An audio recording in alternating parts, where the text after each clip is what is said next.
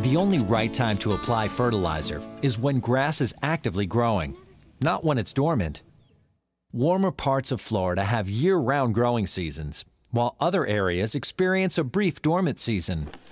Fertilizer applied when grass is not growing wastes your money and time because it will not be beneficially used by the grass. Instead, it will leach through the soil or run off and pollute nearby water bodies.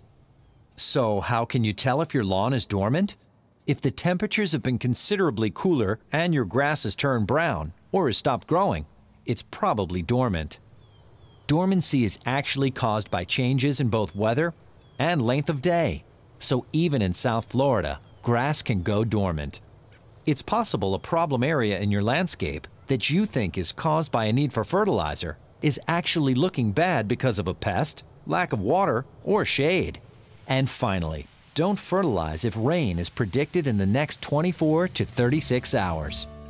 For more information on Florida friendly fertilizing, contact your County UF IFAS Extension Office.